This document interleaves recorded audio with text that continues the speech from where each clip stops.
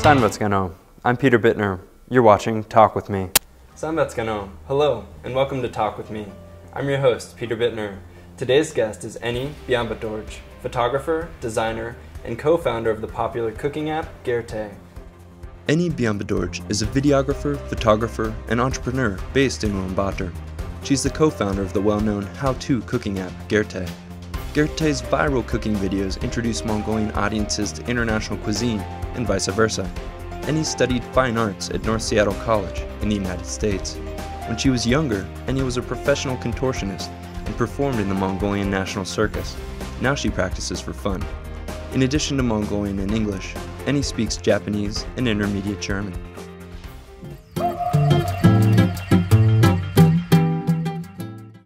Thanks so much for being on our show today. Thank you for having me. Yeah, it's wonderful to be here in your home studio mm -hmm. where all the magic happens. Yes, this is where the magic happens. so tell us about Gerte. You know, it's how-to cooking videos that are online, Facebook, mm -hmm. integrated with an app. Tell us about your content exactly. Gerte means at home, and uh, we teach DIY home cooking videos and uh, we upload our videos on Facebook mainly, and we also have YouTube channel. And as you mentioned before, we have our application, which uh, launched uh, half year and a half ago.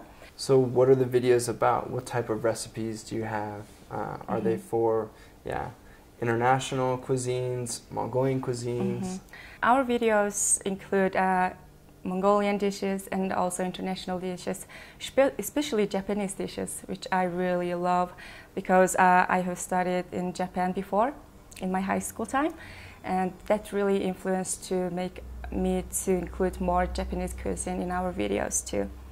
Fantastic. Mm -hmm. So you have over 300,000 Facebook oh, yeah. likes, an active community of people engaging with your recipes. You mm -hmm. post two to three recipes a week roughly, and mm -hmm. uh, you have very nice edited, uh, very tight, short clips that mm-hmm. uh, demonstrate how to cook something from mm-hmm. scratch, which I think is fantastic. Thank so, you.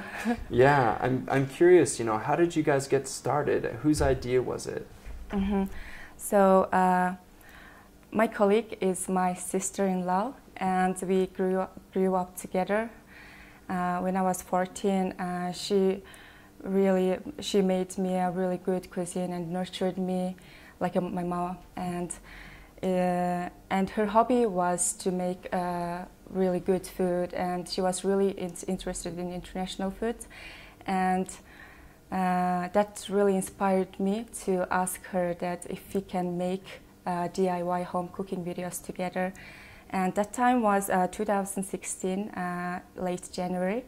And uh, she was uh, nice enough to say yes. and uh, at, the, at the time, I had no knowledge of taking videos. Um, and I have started to learn video program edits. And now it's growing bigger and bigger. I think my skill is getting better and better. Of course, mm-hmm. yeah. I noticed that just uh-huh. from looking through your content. So mm-hmm. your background is in photography, though, and in oh, yeah. design, correct? Yeah, it is. Uh, I had my uh, certificate of fine art degree in North Seattle College, um, and where I learned photography out there. So that's had a big influence, yeah, on yeah. the whole production as well. And mm-hmm. great. Uh, I kind of saw the similarities between taking videos and taking photos, because um, uh, most of the techniques are kind of similar for elementary or coloring, uh, such as coloring, and then taking, you know, uh, the subjects or objects, the food or the person. I think uh, they're kind of similar to it. So it was uh, kind of fun to take a video at the beginning, and the learning new program was also kind of fun too. Of course, I mm -hmm. imagine. So, what was the first video that you posted, and what was the uh -huh. reaction on social media? Um, so, our first video was uh, apple pie, which went viral on Facebook. And uh, at the time, uh, we were thinking about if our likes is going to be around 30,000 in three months, but our likes went viral and uh, we we had that 30,000 people in a week. Oh my goodness. Mm-hmm. So that video, how many times was that shared than that apple pie recipe? The last time I checked, uh, I think it was six months ago, I think it was 80,000 hmm shares and over a million views. Wow. So at the time, uh, our the Mongolian active Facebook members were 600,000. Now it's growing. And I think everybody watched it and everyone tried that recipe in their home. And one funny thing was that uh, one supermarket called us and, oh, because of your video, we're out of vanilla sugar. Wow. So Mhm. people were not able to buy the ingredients in the Uh-huh. recipe because the stores were sold out. yeah. Wow. So that's a big deal. So Mhm. what did you think after that? Um, that really pushed us to make more videos, not only Mongolian, but also more international food for sure. hmm And so tell me about how you guys have grown in terms of production and uh, Mhm. what types of recipes that you feature regularly now. hmm Um, in the beginning, uh, we produced uh, seven recipes in a week, and Wow. yeah, I think that went uh, on for uh, three months. And now uh, the things kind of changed, and our videos quality has changed too. So uh, we make uh, three or four videos in a week, and uh, we also launched our application. So I think that really helps uh, other people to learn more about food culture.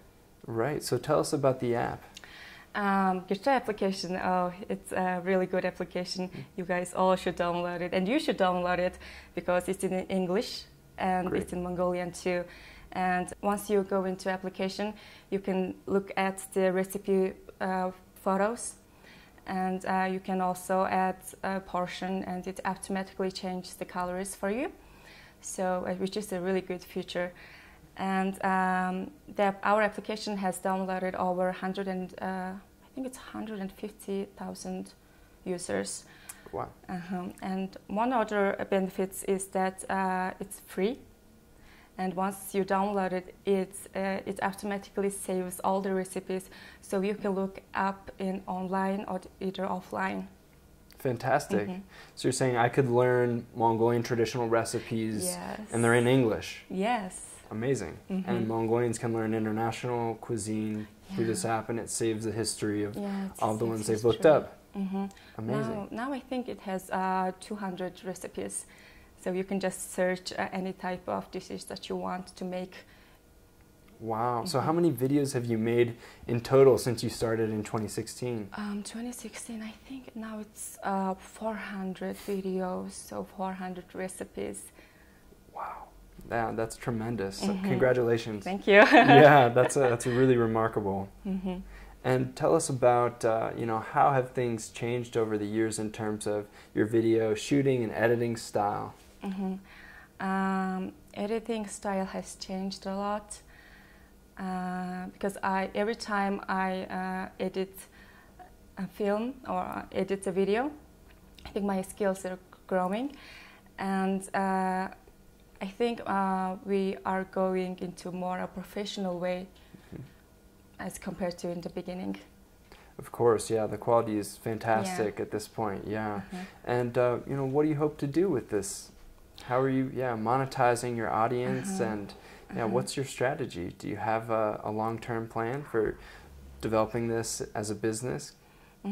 Um, now we are mainly focusing on Facebook platform, and we are opening our YouTube channel, um, and also I think we're going to um, make it more tangible.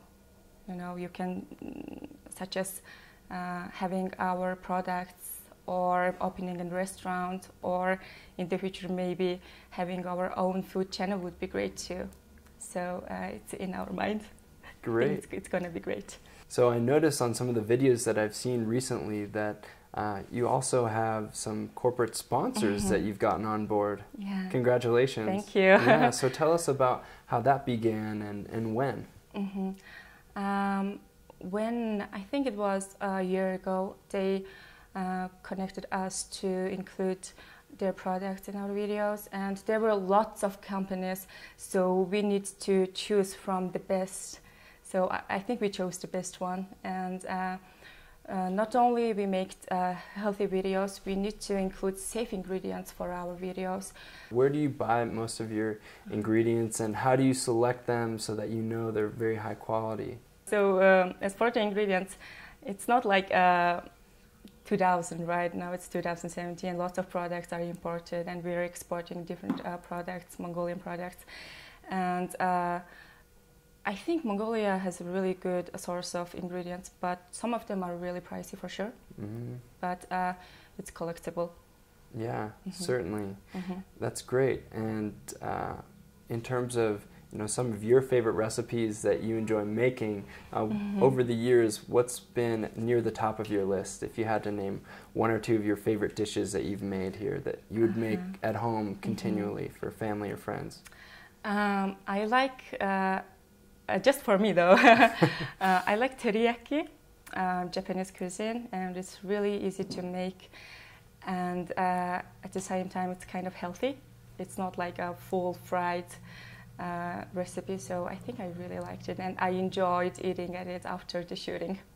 Of course. Mm-hmm. And so teriyaki, that sounds like uh, a Japanese dish. Did you, yeah, mm-hmm. incorporate that uh, as a result of some of your experiences abroad studying? Uh-huh. Um, during my high school study, uh, my uh, host family were really into food. They taught me how to make teriyaki and sukiyaki, uh, which is really good food also, uh, which is really good food. And uh, I think that background influenced me to make uh, in, to include more Japanese dishes in our videos, and Mongolian food for sure too. Um, and I like desserts.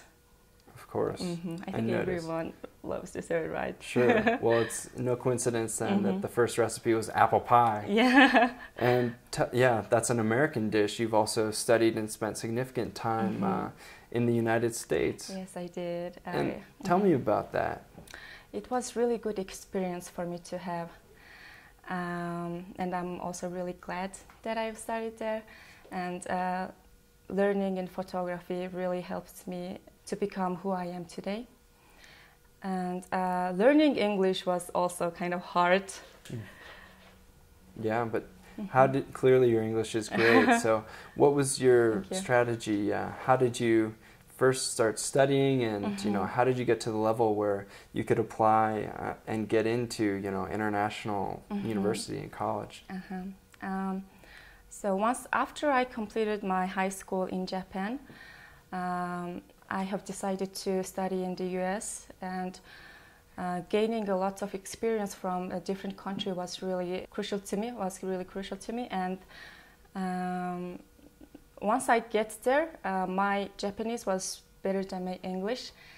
And uh, as far as applying to college, um, I uh, I had some connection uh, through my uh, acquaintance, my friend, and she told me that you can apply from here and then go study over there. And that was a really good chance for me to go there. And uh, in the first quarter, I went to ESL course, English learning course and a quarter later, I changed uh, my college, North Seattle College, and uh, where I gave my English test. And uh, fortunately, I passed and I went to a college. That's fantastic. Mm-hmm.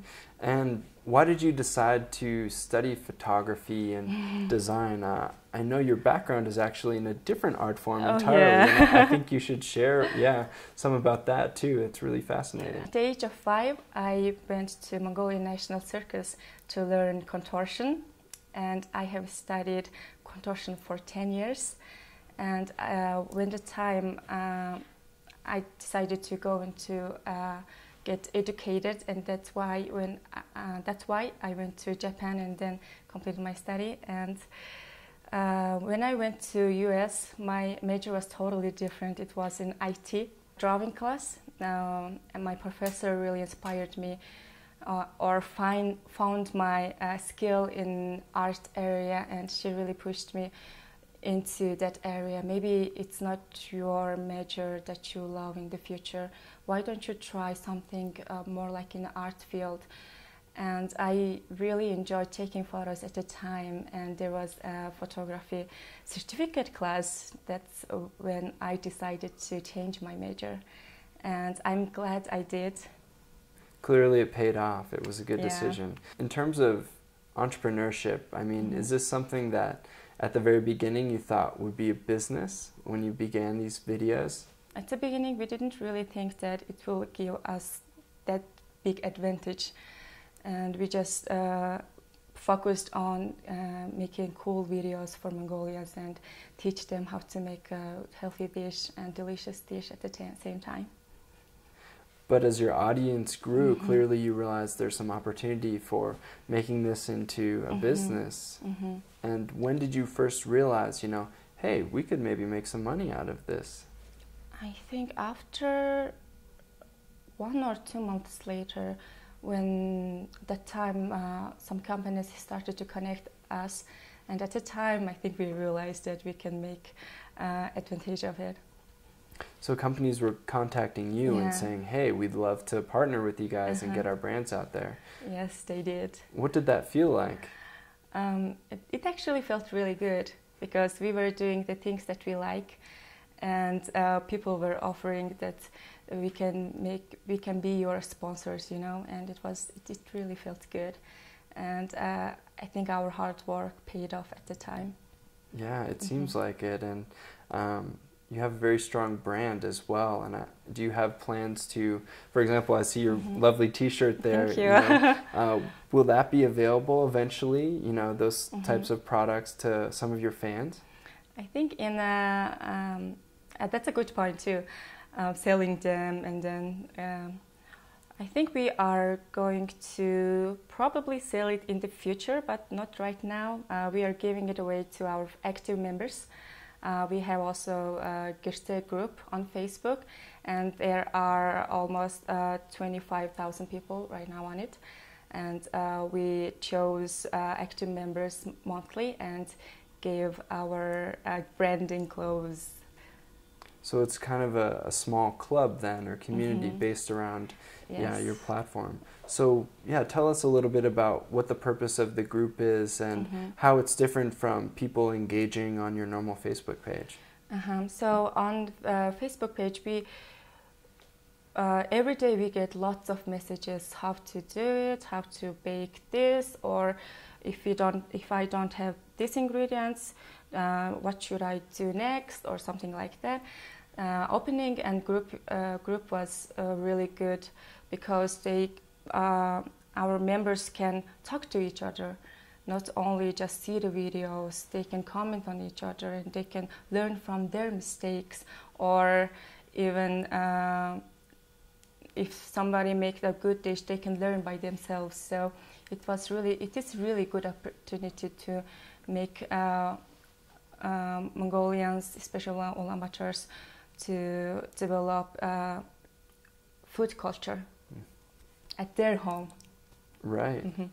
And uh, who, yeah, is the average user or fan, you know, of your Uh-huh. videos then?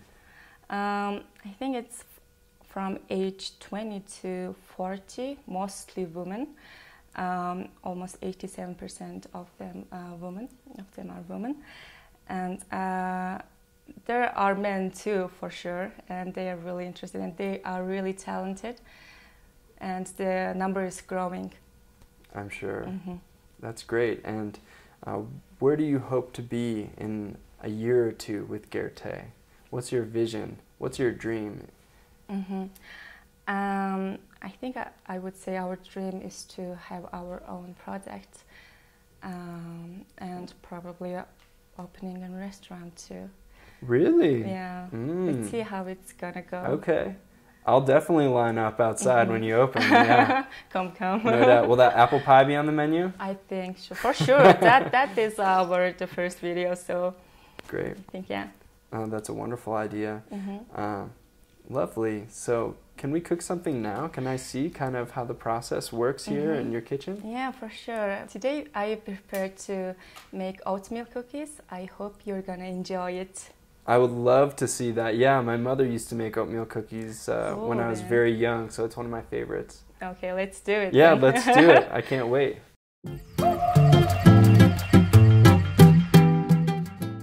Tell me, what are we making here? So we have a few ingredients out. These look delicious. Is this oatmeal cookie? yes, it is. Okay. That's the final result. Final result. You Okay. need to make make it to look like this. Okay. it better look like this. yeah. All right. Mine may not be as beautiful, but uh, tell us, what are the ingredients we have here? Okay, so ingredients are um, oats and an egg and brown sugar, flour and butter, uh, melted butter and vanilla sugar. It's, it's also on our application, so you can look out the ingredients later for the exact measurement. Great. Okay. Fantastic. And so I noticed you use uh, these. Don't look like raisins. You said they're Oh, cranberries. cranberries. Okay. Uh-huh. So why cranberries instead of raisins? Um, I like cranberries more than raisin. Yeah. It's sweeter, so that's Sweeter. why I chose it. Mhm, Yeah. Appropriate for a cookie. Great. Great. So what's the first step? Okay, um, so you can measure the oats into 100 grams. 200 grams. Okay. No, 100 grams. 100. All Mhm. right. Let's see Oh, be careful. Yeah. 100. 90. Oh, Okay. 102. That's Is fine. that too that's much? fine. No, that's Hang on. Yeah. Pinch. Oh, it's actually go. going up. It went up. that doesn't make sense. Okay. Okay. Close enough. yeah, Close, close enough. Great. Okay. And then um, you can combine all the ingredients. Okay. So they all go in. Yeah. Does the all go order matter? No, No. not really. Order doesn't matter? Okay. Let's see here. Let's see if I can do this.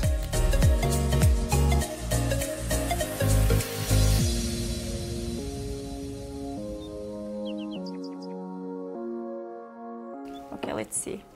How we doing? Is it rich enough? Oh, the sugar needs to be more combined with Mhm. the eggs and stuff, so you can smash it like that. Okay, try one more time. I think you're doing great. Doing great? Yeah. All right.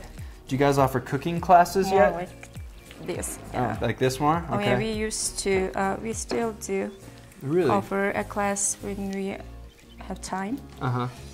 Great. And it's Mhm. part of the Gerte website as well. People can sign up then, or Um, no, we, are, we usually put our poster on our group or on Facebook page, got and people will just call me and then submit there.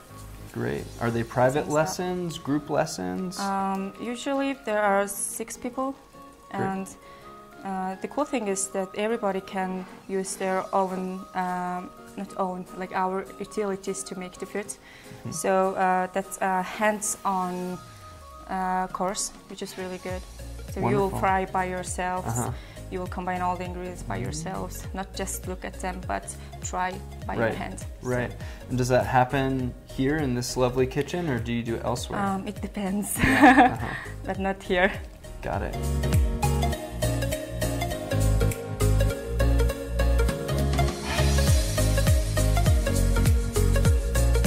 Spoonful or two, or what do you think? Um, probably two spoons. Okay. yeah. Let's try one of those. Let's try two and let's see how it, how the color goes. Because the color is the most important thing for The color. for me, for- Ah, I for see. me. It's all about presentation. Yeah. yeah. So uh, yeah, does the visual aspect overtake Uh-huh. the uh, flavor at times when you're making these videos? You know. Uh-huh. Um, the dish, the, all of these dishes should or must look delicious. Uh huh. Otherwise, people won't really cook it. And Right. especially Mongolians are really into meaty food. Meaty foods. Yeah. Yeah. I've noticed. Yeah. Yeah. Definitely. And they uh, always ask some like healthy foods and vegan foods. Mm-hmm. And uh, that videos don't go well as compared to meaty foods. Okay. yeah. Makes Yeah. sense. Mhm. What's the most popular uh, meat dish? Um, it's uh, fried mutton ribs. Ooh, that sounds amazing. Yeah, it is. Nice. And my sister came with the idea of that, and it went viral, which really, which was really good. Oh, it was her recipe. Yeah. Yeah, interesting. So, where do you find most of your recipes? Do you make them all, or do you research online, or? Uh-huh. um, we searched them online Uh-huh. and uh, come with the idea.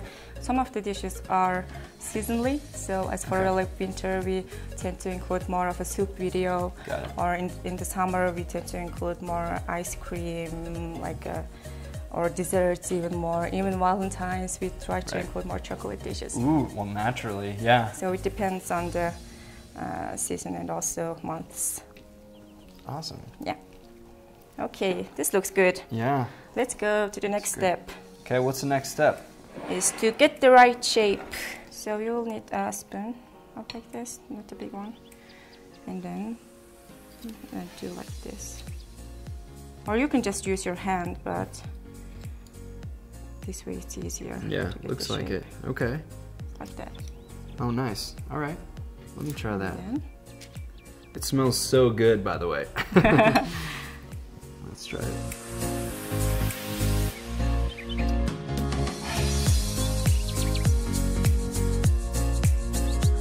Okay, so looks like this. All right. And uh, in the oven, it's gotta be, uh, I think around 15 min- minutes. Okay, at 15 least. minutes. And let's see how it goes. Okay. Sounds good. Let's put them in.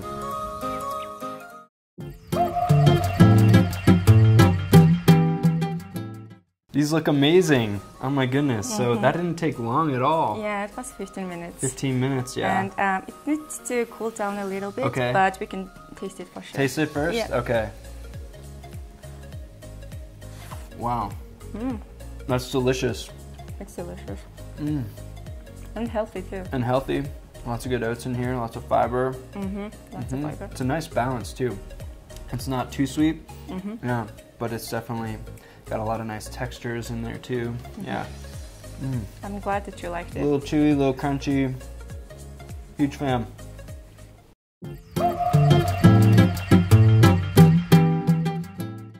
Man, those were delicious. Thanks so much for showing me, you You're know, welcome. how the whole process mm-hmm. works. My mother would be proud. yeah, yeah, your mother will be proud.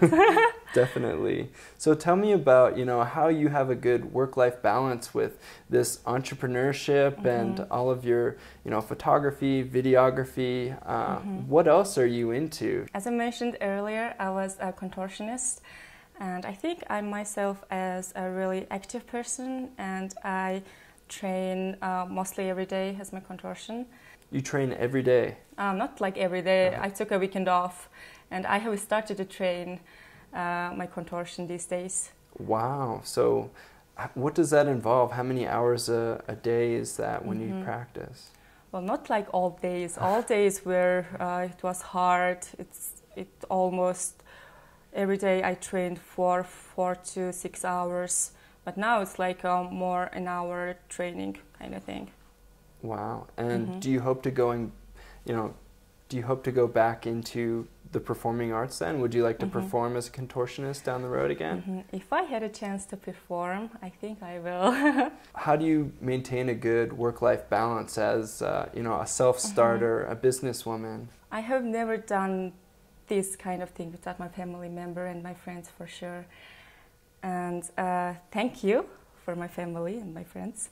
And uh, having a good night's sleep is really important. Yeah, and also eating uh, healthy food is important too. And making a good plan for your everyday life, which uh, that really helps. I'm sure. So, what's Mhm. your routine like then uh, in an average day, for example, when you're producing? Like, Mhm. yeah, what does a day look like for Mhm. uh, a videographer, entrepreneur, Mhm. um, chef? um, okay. Uh, as for the producing date, uh, I usually woke up at ten. Not, I'm not a really morning person, um, and uh, I come here and start shoot our videos until it it gets uh, until it's done. So I think it really depends on the food too.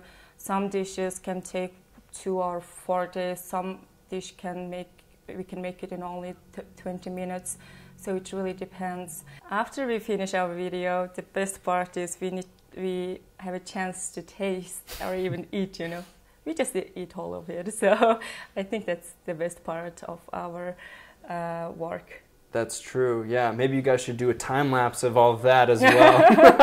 that would be great. Yeah. Too. Uh, we actually have the mukbang show called uh, uh, and uh, that's where we eat and talk to our members online. So Great. yeah, and that's on your Facebook page as well yeah, now. it's on our Facebook.